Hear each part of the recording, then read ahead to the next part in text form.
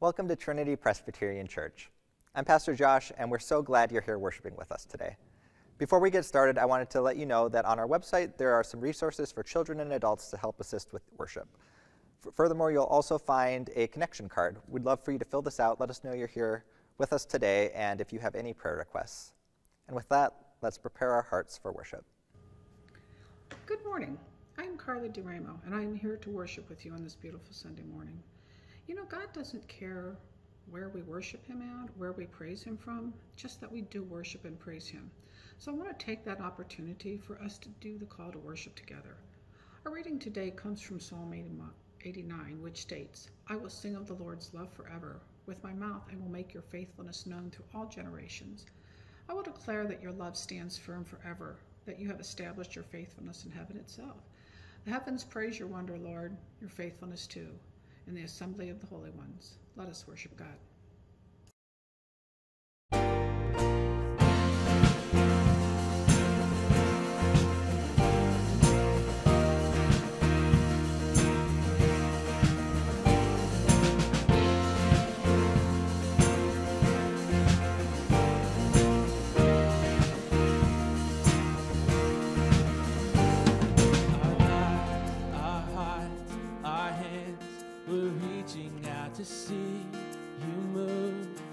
We can hardly wait. Come flood this place. We're ready now. It's all about to change. Let your kingdom come. Let your will be done. Let your fire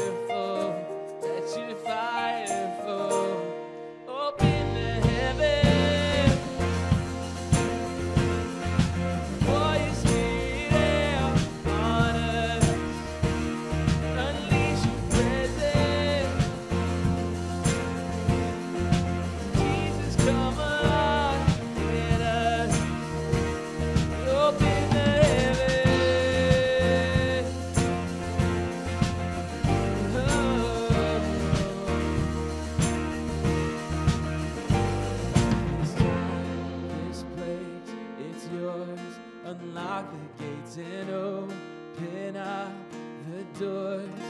Let your kingdom come, let your will be done.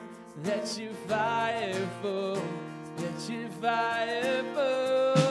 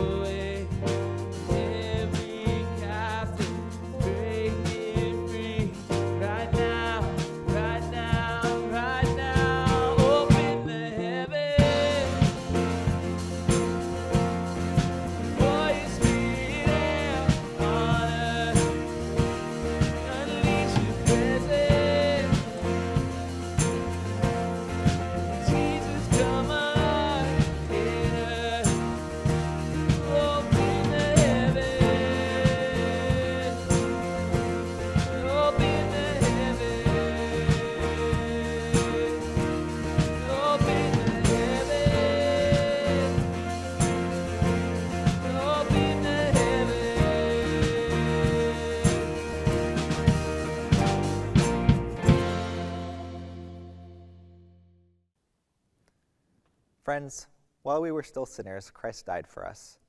Through the power of the Holy Spirit, God promises to forgive us and renew us. Let us confess our sins in the presence of God and of one another.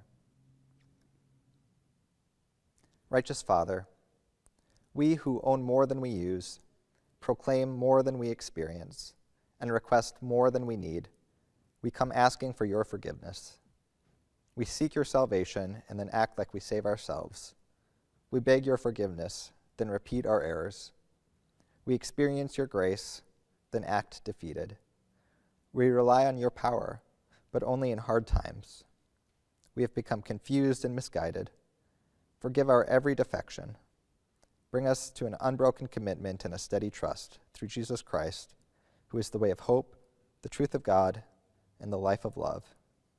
And hear us as we continue to confess in the silence of our hearts.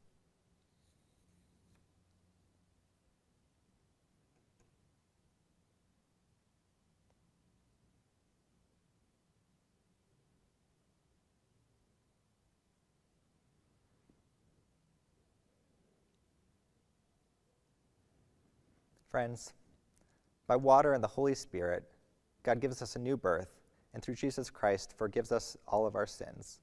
Hear this good news from the first letter of Corinthians from Paul. For you were washed, you were sanctified, you were justified in the name of the Lord Jesus Christ and by the Spirit of our God. Almighty God, strengthen us in all goodness and keep us in everlasting life. Amen. Let us continue with our worship.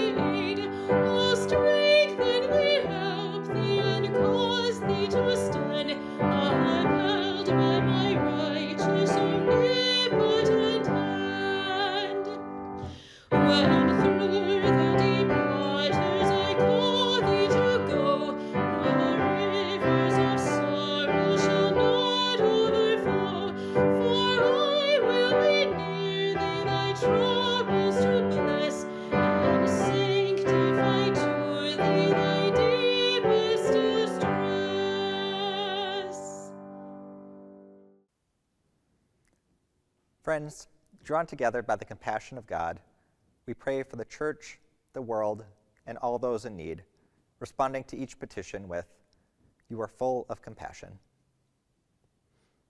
Let us pray. Unite your church, O God. Give all the baptized the gifts of repentance and reconciliation. Strengthen ecumenical partnerships and interracial cooperation among the churches and guide all who work to be your body in the world. O God, teach us your way. You are full of compassion.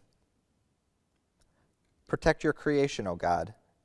Teach us ways to live that do not harm what you have entrusted to our care. Give to the animals the habitat they need for life. Renew and enliven places of suffering from drought, flood, storms, or pollution.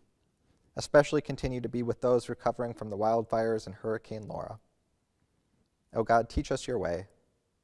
You are full of compassion. Bless the nations, O God. Frustrate the designs of dictators. Guide legislators, civil servants, judges, and police toward the well being of all. Infuse the coming election season with honesty and integrity. O oh God, teach us your way. You are full of compassion. Sustain us in our work, O God, and give employment to all those who need it shape societies to ensure fair treatment for all who labor. Help us to love our neighbors in and through our work. O oh God, teach us your way. You are full of compassion. Tend to all in need, O God. Assist all friends and family members who are seeking restored relationships. Give community to the lonely and welcome the outcast. Shelter all who are vulnerable in body, mind, or spirit, especially those we name here before you now.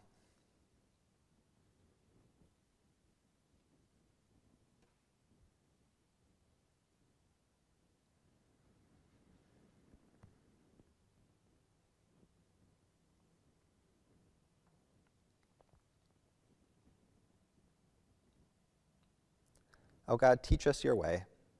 You are full of compassion. Receive once again, O God, our plea for the end of the coronavirus. Comfort those afflicted with COVID 19 and uphold our medical workers.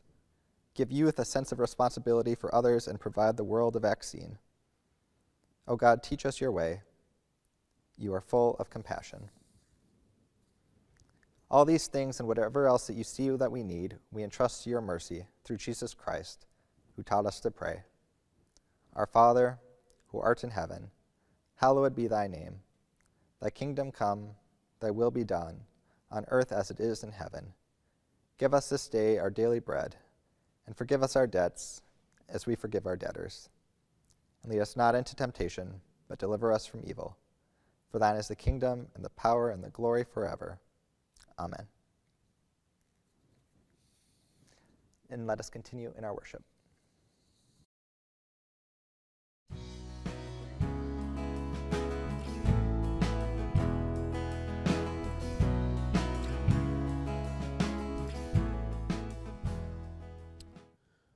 If you would join me in prayer. Uh, gracious God, we ask that you would speak to us today, that you would encourage us, that you would challenge us, that you would draw us closer to yourself and to each other. We thank you, Lord, for who you are. We pray these things in Jesus' name. Amen. Uh, this past week, I started reading a new book by Rabbi Jonathan Sacks from the UK. It's called Morality Restoring the Common Good in Divided Times. Uh, in it, he points out that Western society has been moving from a we culture to an I culture. Uh, we used to view ourselves as part of larger groups. We saw ourselves as being together. We were a people who would join, who would connect, who would get involved and stay involved.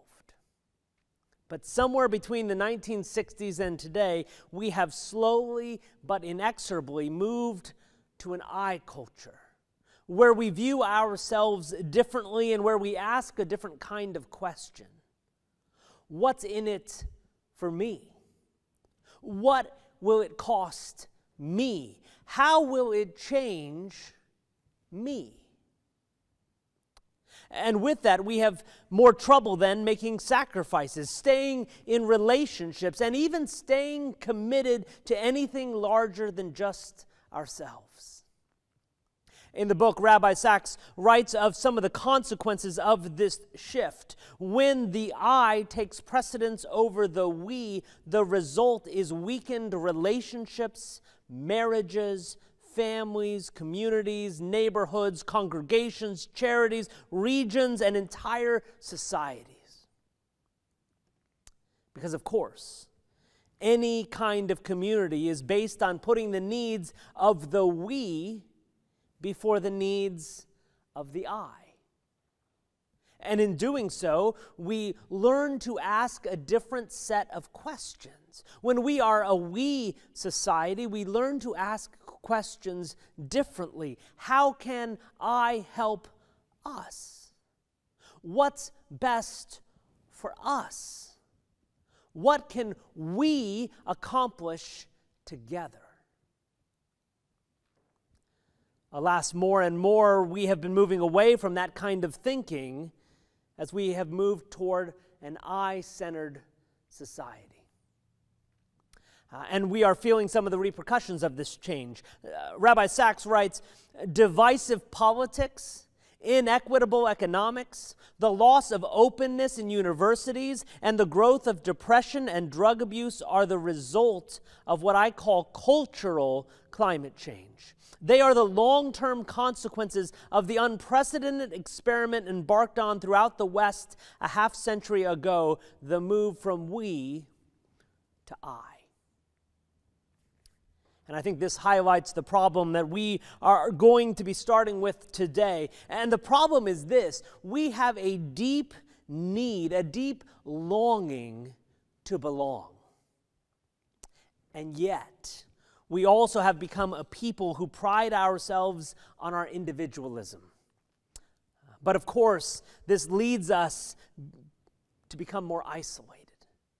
What's more, as we become more isolated, we come to a growing sense of our own inadequacy, insecurity, and even insignificance. We long to be a part of a community, and yet we have also learned to not need anyone else. But of course, the problem with going it alone is you end up lonely. The problem with not needing anyone else is that no one knows that they might need you. The problem with focusing on self is that we fail to see how we are better together. And this is hard. It's not always uh, when we face these decisions. In fact, it often seems best to choose yourself in any moment, in any decision, even if that ends up hurting us in the long run. And there's often a cost to choosing and committing to a group in the short term, even if that does help us in the long term. Interestingly, in that same book, Rabbi Sacks comes to this point in a rather odd way through a problem that Charles Darwin discovered. He, he writes If natural selection were true, if the evolution of species was determined by competition for scarce resources, then you would expect only the most ruthlessly self interested to survive. Selflessness has no place in the Darwinian system, and Darwin rightly acknowledged that. Altruists, especially people who risk their lives for the sake of others, would tend to die disproportionately young because of the risks they took. So they were more likely than others not to have had a chance of handing on their genes to the next generation. In short, altruists as a species should be extinct. But of course, that's not the case. To try and put it a little bit more succinctly, how do these selfish genes produce selfless people? But as Darwin dug into it further, he found something different as he looked not at just individuals, but at groups. While an individual can always get ahead by being selfish, a family or a herd or a tribe will always be stronger than the individual, and interestingly, an altruistic group will always be stronger than a selfish collective because they are willing to share to help, to care. And because of that, the members of this altruistic group can learn to trust each other, which changes everything. But here again, we find our problem. We want, we even need, we long for being in that kind of a community. And yet, we have become a people of eyes and have become bad at belonging. We need to belong, we want to belong, and yet we struggle with it. So, what do you do? What do we do? While we think about that, let me tell you where we're going. Today, we begin a new fall series exploring our longing for community, for closeness, for connection. There's something in us that knows we need people, we need family, we need friends, we need to be a part of a group, a posse, a tribe, a club. We want to know that we belong. But as much as we long for these things, we also push against them as well, because the reality is that community comes with a cost. And to be quite frank, we are often unwilling to pay that price. We don't want to commit. We don't want to risk. We don't want to show weakness. We don't want to be vulnerable. We don't want to admit that we might need someone else, anyone else. And this is the conundrum that we face. We know we need community. We even at times want community.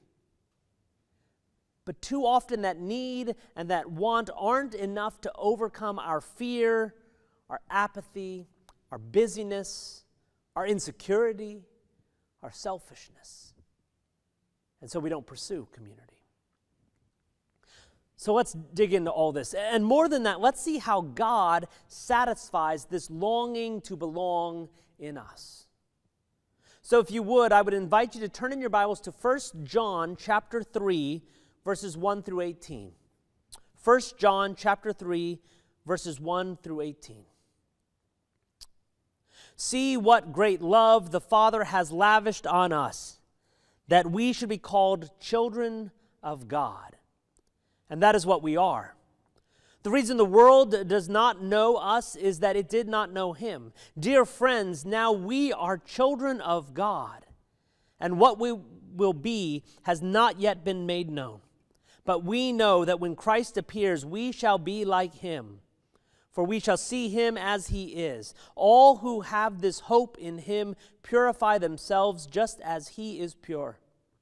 Everyone who sins breaks the law. In fact, sin is lawlessness. But you know that he appeared so that he might take away our sins, and in him is no sin.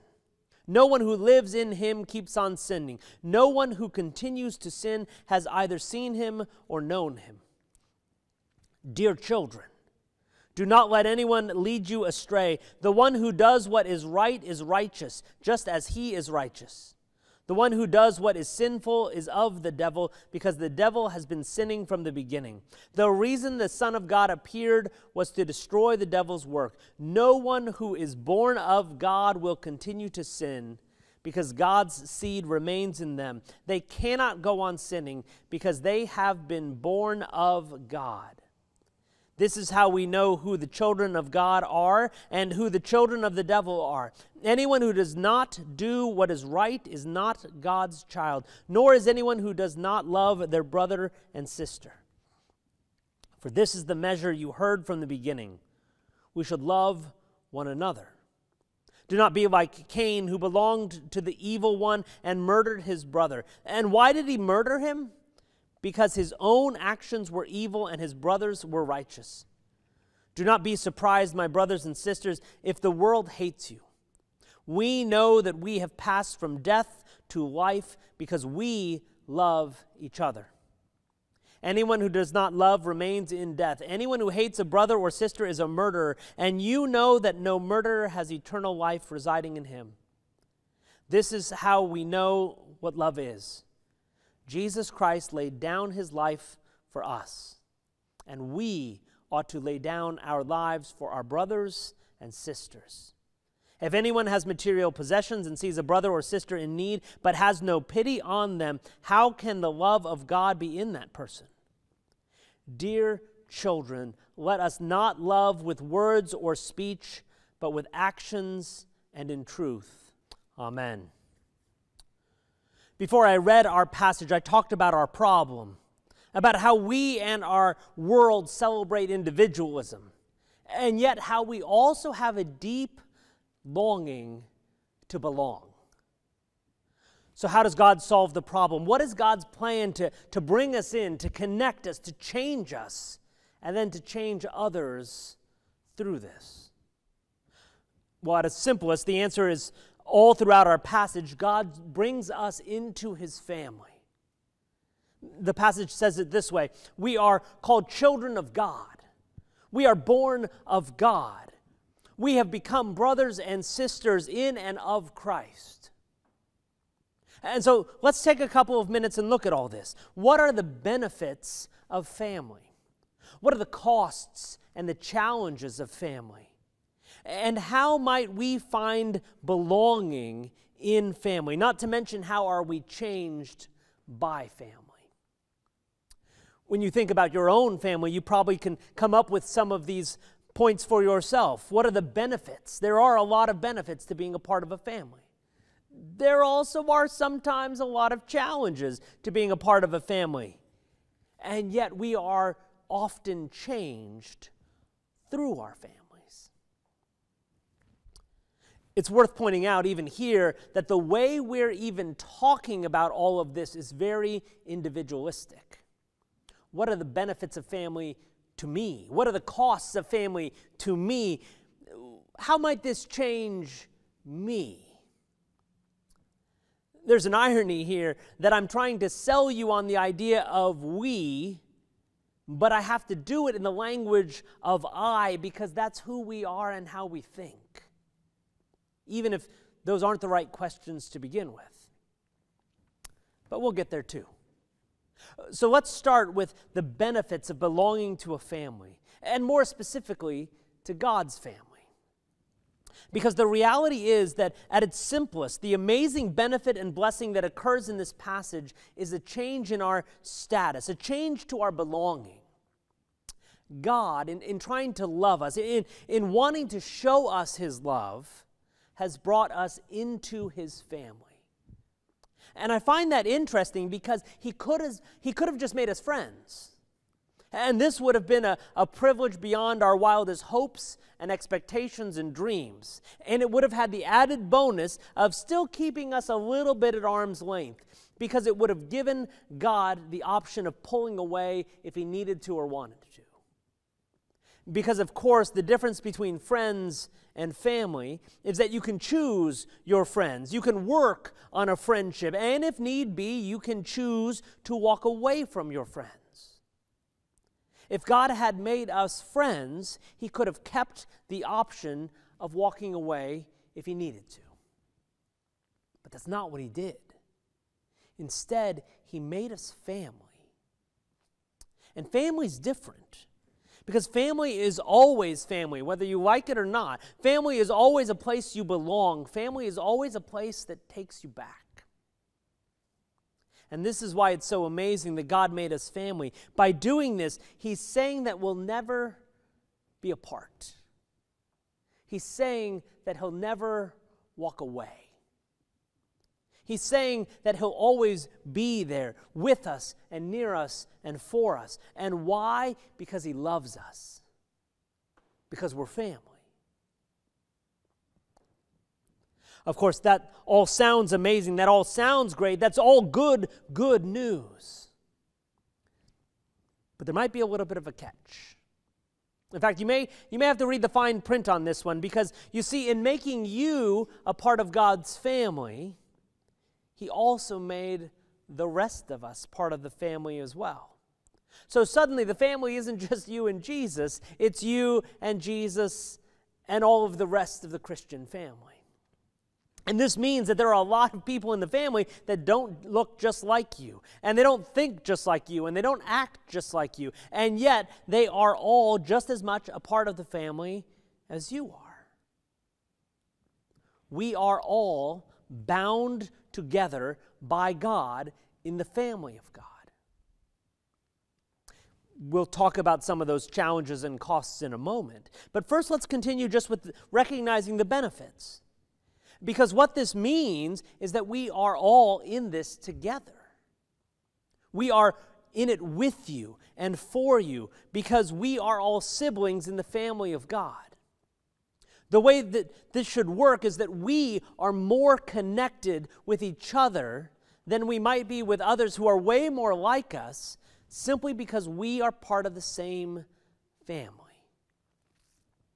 It's like the saying goes families are like branches on a tree. We all grow in different directions, yet our roots remain as one.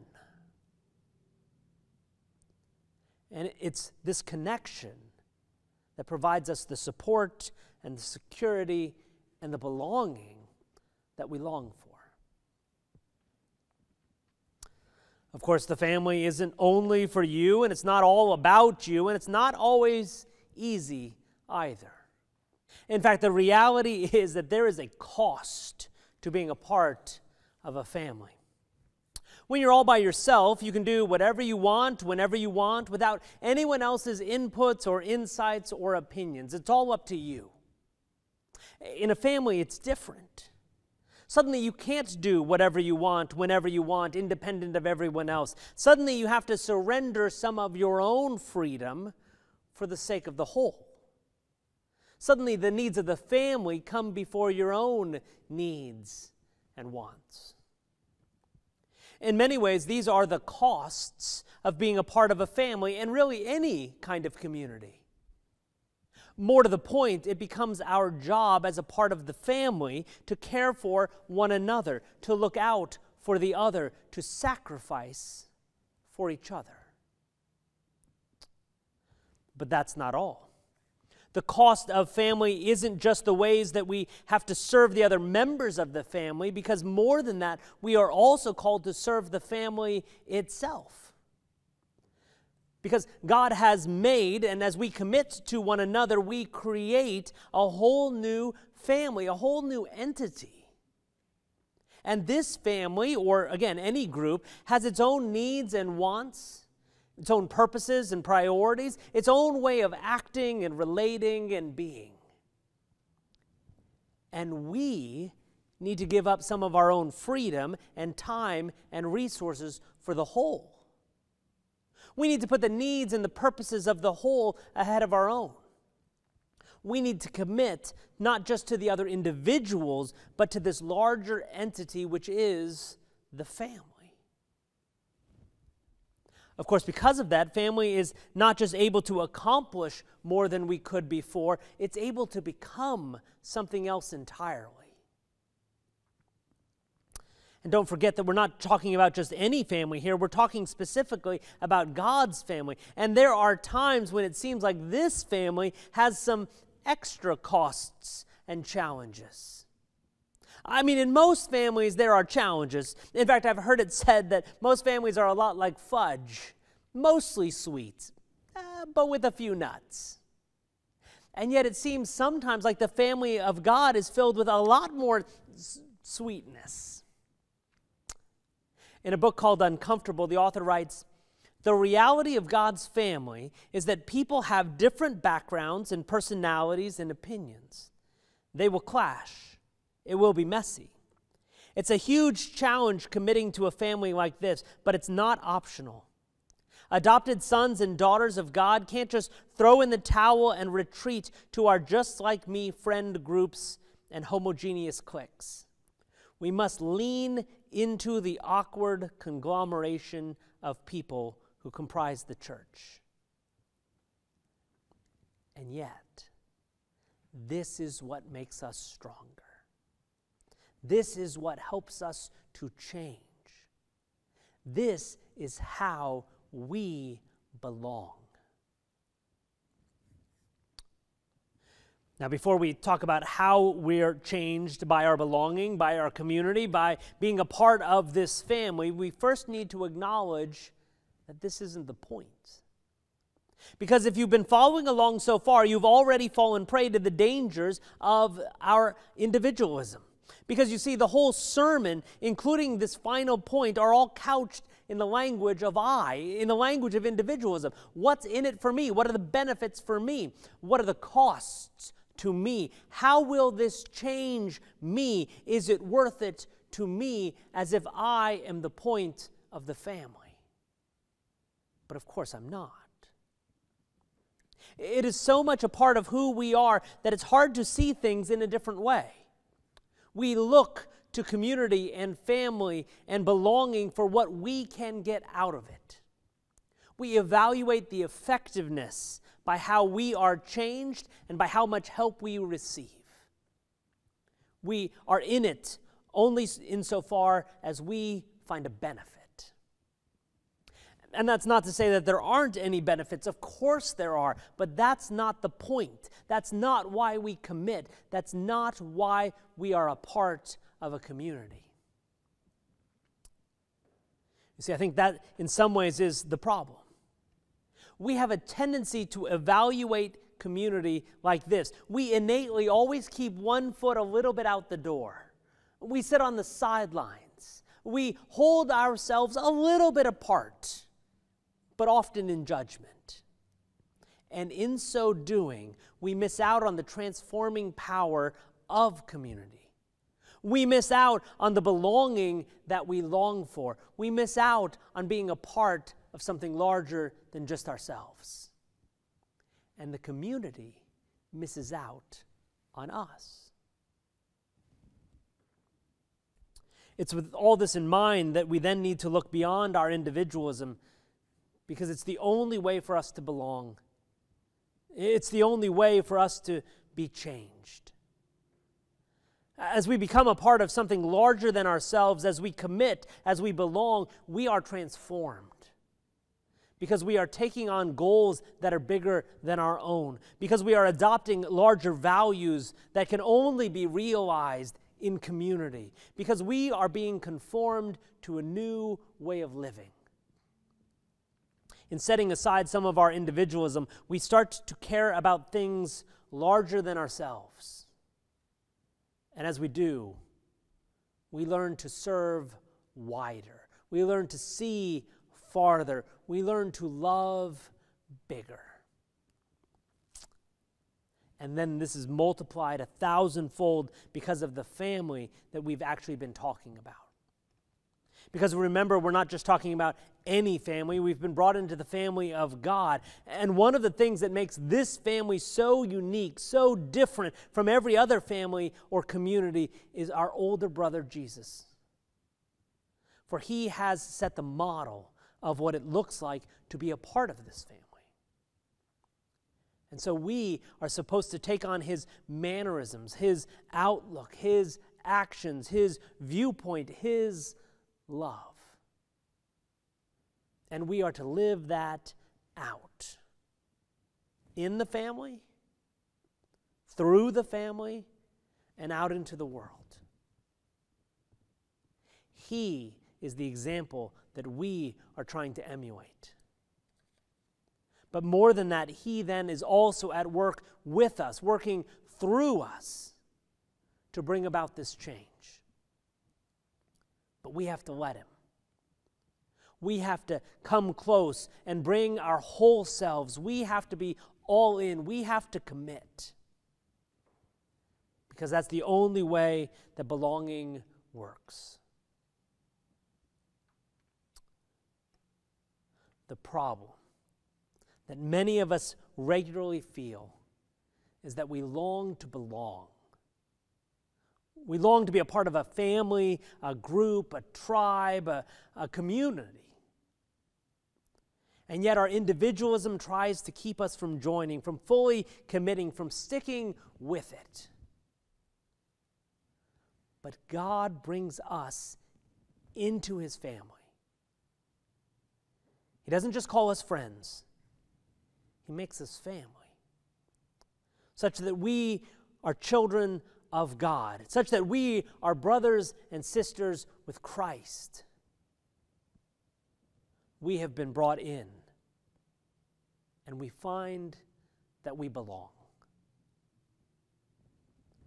And this gives us the freedom and the space to continue to commit and conform ourselves to this new way of life and we do this as we learn to serve one another and then ultimately through the family, the rest of the world. Let us pray. Lord God, we long to belong. We long to be a part of something bigger than ourselves. We long to, to know that we are needed and desired. And you have brought us in. You have brought us into the family of God. You have made us your children. You have made us brothers and sisters with Christ. Lord, help us to live this out. Help us to love like that. Help us to love like Christ who laid down his life for us, sacrificially and because of his love. Lord, we thank you for this mystery and this good, good news. Help us remember it and help us live as members of your family. Help us become more like our older brother. We pray these things in his name. Amen. And now let us continue in worship.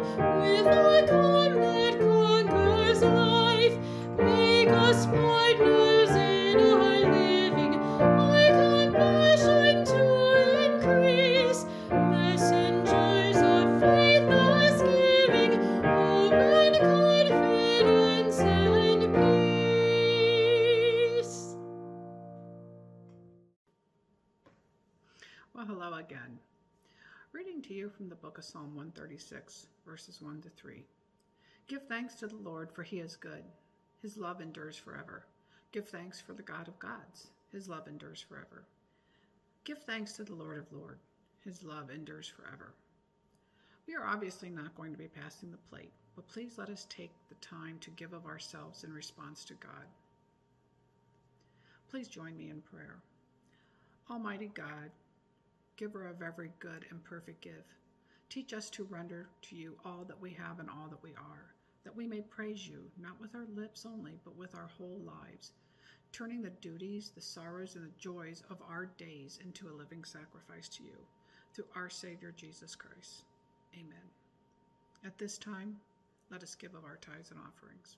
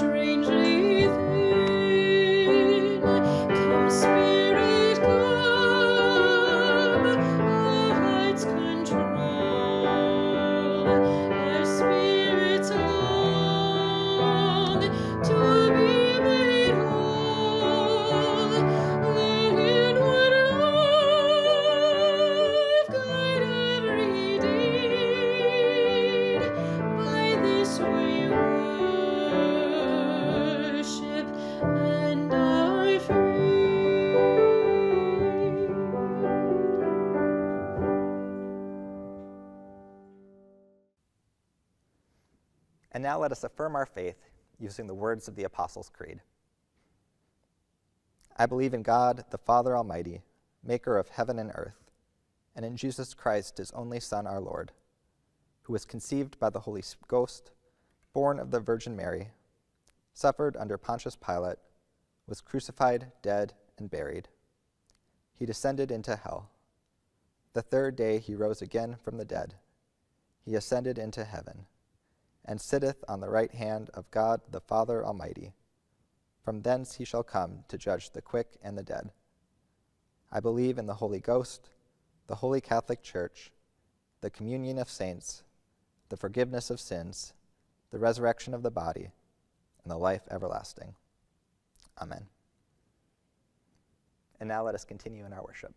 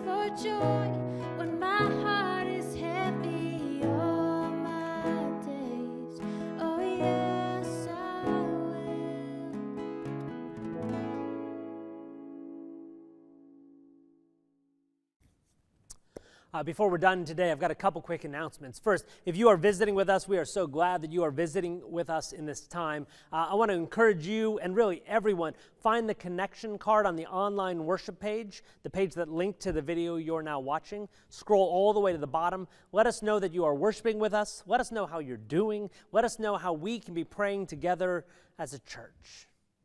Uh, the second announcement is that uh, I want to just commend to you our daily offices. It, it's a new discipline, actually, it's a really old discipline uh, that we are using right now to pray together and to feel more connected. Uh, you can sign up on the e-news, and what it is is a small text message that'll happen uh, Monday through Friday at 9 a.m. and 4:30 p.m. Just a prompt to pray. But the difference is we're all doing it together at that exact same time. And so we are together being a part of the church community, even though we are physically apart.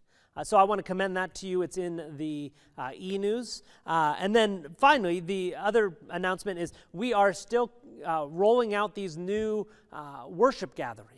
Uh, we'll continue our online worship for sure, but we are starting to gather back at the church uh, and in other locations. Uh, we are meeting outside, we are meeting in this room, uh, and basically, what these are are small gatherings of 10 to about 20 people with masks. We are sitting at tables or separated out by at least six feet. So we are uh, keeping some distance. Uh, we are doing what we need to to be safe, but we are also finding new ways in which we can worship together as a church family.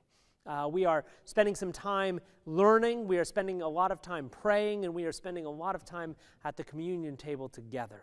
So I would commend these to you. There's information in the e news about it. There's also a new part of our website that'll uh, detail these out. Uh, the signups begin on Wednesday uh, around 1.30 when the e news goes out. That's when you can start signing up. Uh, if they fill up, keep looking because sometimes uh, we will add spots to get us a little bit higher if we can keep the numbers uh, safe. So please uh, keep looking throughout the week. And um, we are kind of rolling these out one at a time. So as they fill up, we'll start making more. Uh, and so we need you to sign up so we know how much uh, need there is for these. So please look for those on the church website or in the e news as well.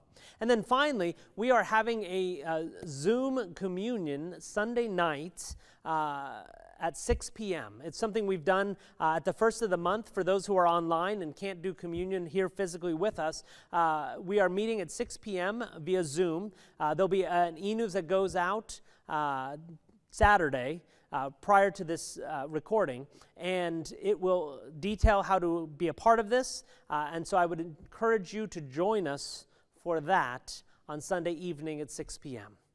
Uh, that also will be on the website, so you can find more information there as well. And with that, receive the benediction. Know that you are a chosen people, a royal priesthood, a holy nation. And so live like the family of God Live like the temple of the Holy Spirit. Live like the body of Christ. God's blessings be upon you today and forever. Amen.